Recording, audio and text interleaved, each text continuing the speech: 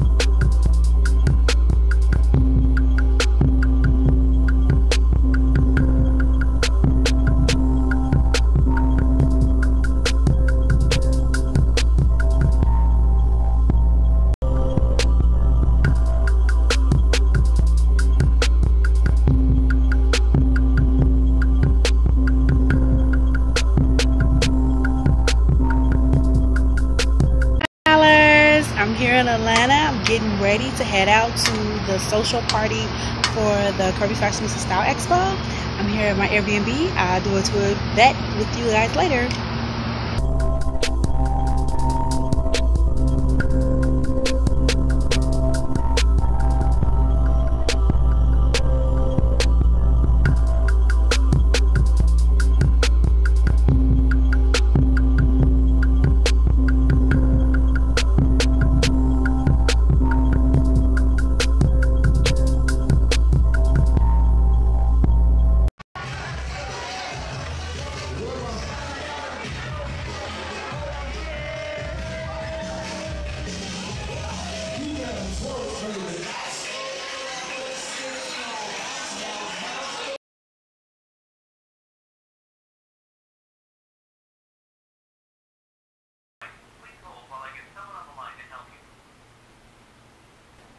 Hello stylers, welcome to the Full Style channel for another video.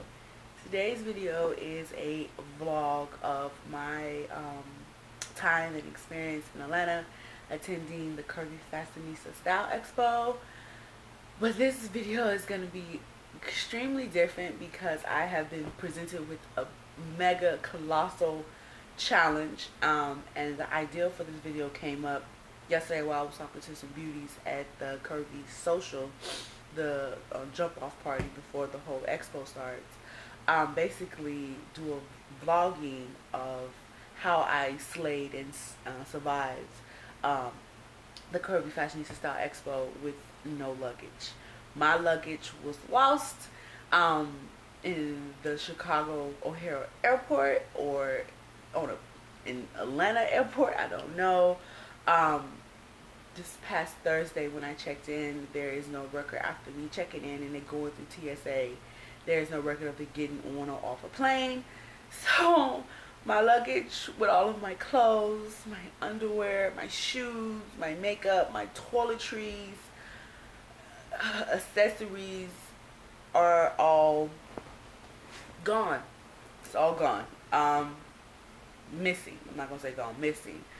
So I am after not crying and trying to be proactive, and positive about the situation, and not totally freaking freak out like I usually used to do. Um, and then by midnight, that first night, um, yeah. So, um, I didn't, I didn't, I didn't do anything. I didn't take no pictures. I didn't, I wasn't on Instagram that much until the evening. And then when I was at the party, the social, I was half there because all I could thinking about is how tight my underwear were are because I picked up a pack of underwear from Target and they were extremely tight. Um,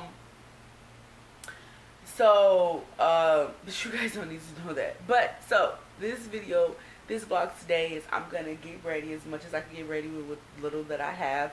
I did go to Target like I said yesterday and I brought a whole bunch of their travel size little toiletries. I brought some makeup. I went to Macy's and got a free makeup sample of my of my foundation that I use. Um, so that is a tip. Um, if you ever somewhere and you're without your makeup and you need to go makeup, get makeup and you especially something like foundation go to Sephora Ulta or Macy's a department store and get a get face swatched and get a sample of that foundation. Luckily I had like a uh, my um, press powder my powder foundation of my makeup so I was able to set my liquid. You guys know what I'm saying. Anywho um and then I just went to Target and I picked up the Bare Essentials. I picked up a mascara because I could use it for my eyelashes as well as my eyebrow. I picked up a, uh, a e.l.f. contouring palette. I'm going to exchange this because it's too light.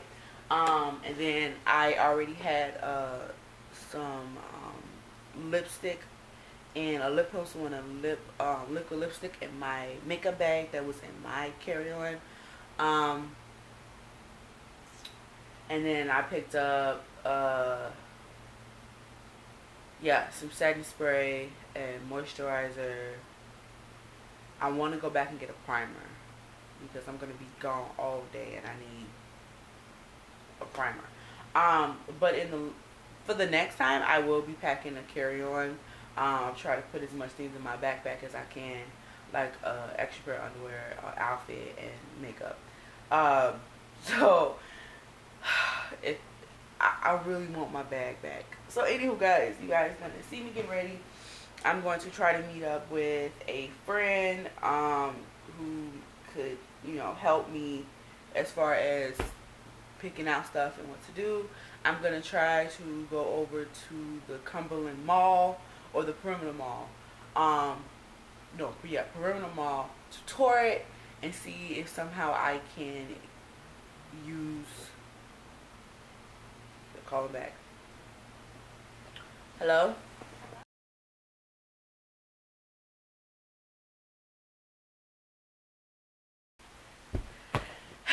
hey stylist. So, update, good news. They found my bag. Unfortunately, it's still in Chicago. So I'm going to have to wait a few hours to see if it's even going to be on the next plane. Next plane out here to Atlanta. Which one get here until 3 o'clock? So I'm still gonna go with my previous plan. I'm gonna go to Target. I'm gonna exchange some things, get some things, and I'm gonna head over to Torrid to try to get some underwear because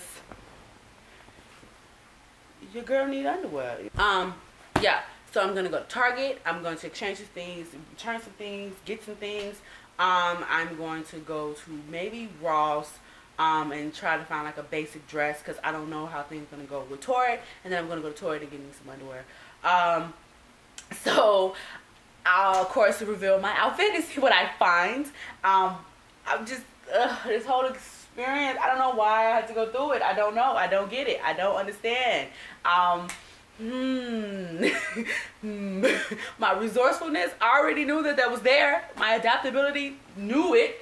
But apparently God wanted me, to, God wanted to test me on this. Anywho, I'm going to do that. I'm going to finish eating something real quick. I got me some little snacks from the little store downstairs where I'm staying.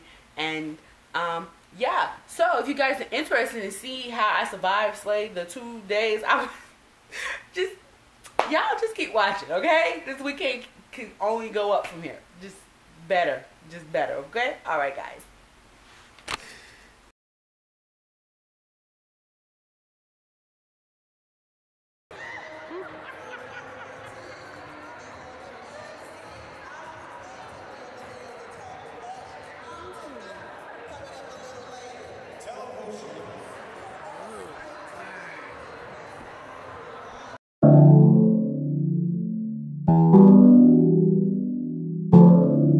Life and death experience, I realized that no, God didn't want me to change myself. He wanted me to grow from this person I had become and learn to accept it. But it definitely is a difference once you reach that undesirable fat, the fat range that isn't accepted by society. Because when they say BBW, let's be real, that's slim fit. That ain't the mm-hmm. BBW that most of us in this room identify with. So it definitely impacted my friendships. Some of my girlfriends used to take, you know, the backhanded compliment. Or if you go to the mall, we only go shop at the store. We're not going to go to Lane Bryant because most of your friends are skinny, slim. They're like, oh no, well you can go by yourself.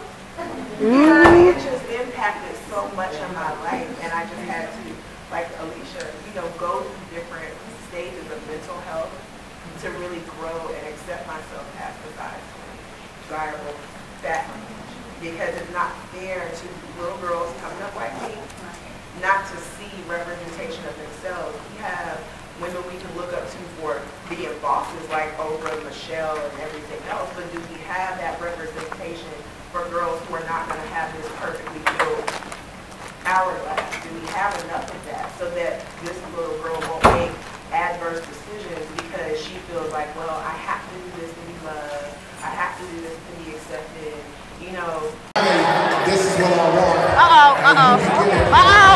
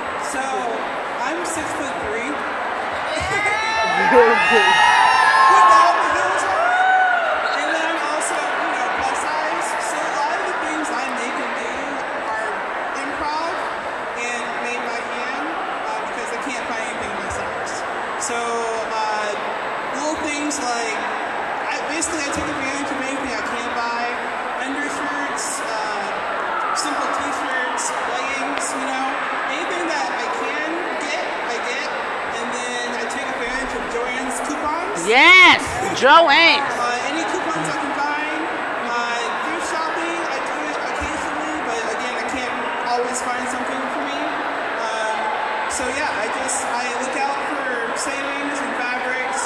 Um, I also tailor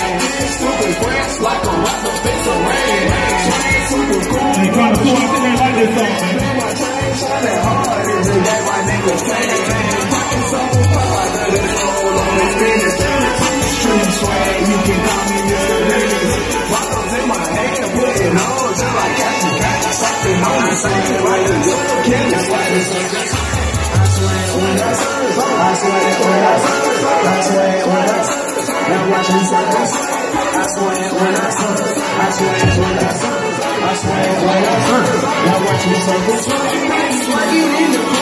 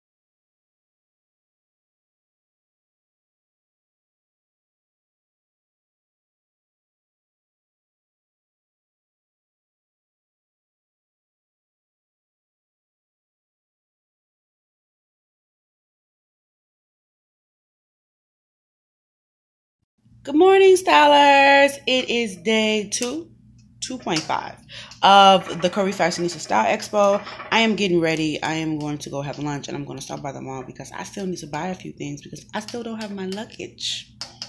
So I'm still without my luggage, but um, I'm borrowing a dress from Diva Plus Consignment. I'm going to go get a few things I can have for tomorrow and we're going to enjoy our time here. That's what we're going to do.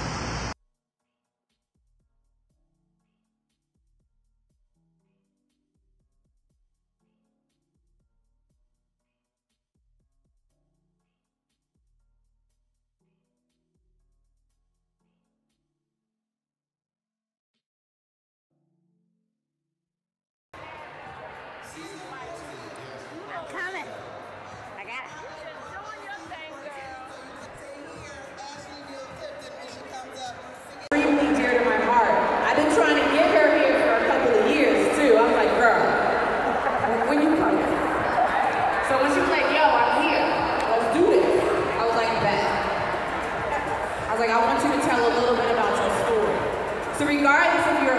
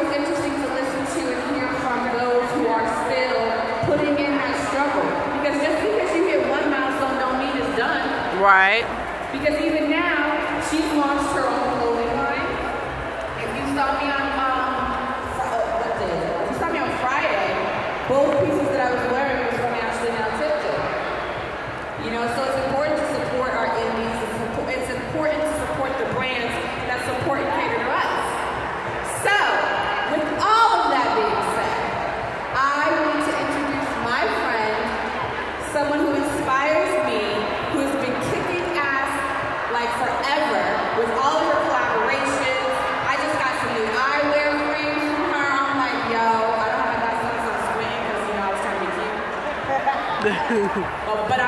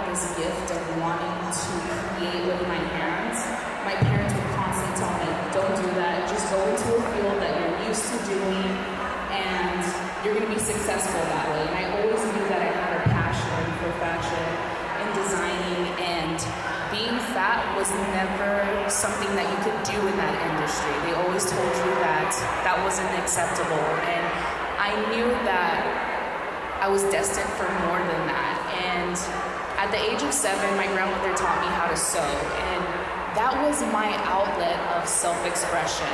Being dyslexic, not knowing how to speak to people or translate your emotions through paper or anything like that, I picked up sewing. And from there, going into high school, being teased and not being taken serious, I always knew in the back of my head that my talent and my passion is going to take me somewhere. So by the time I was done with high school, I knew that I wanted to go into fashion design. And I knew that I was going to be going into an industry that was not going to be accepting of what I do. And so with that, I had to grow thick skin and not allow people to tell me that I can't do anything. Because I remember my professors telling me, you're not going to find a job in the fashion industry if you want to do plus size. That is not welcome. And I remember hearing that, and that motivated me to drive even more. I was like, I'm going to prove you wrong. And so with that, I went to design school. I found my niche, which was creating for plus size women, because I'm a plus size woman and I know what we want and I know how we want to feel in our clothing and we don't want any restraint.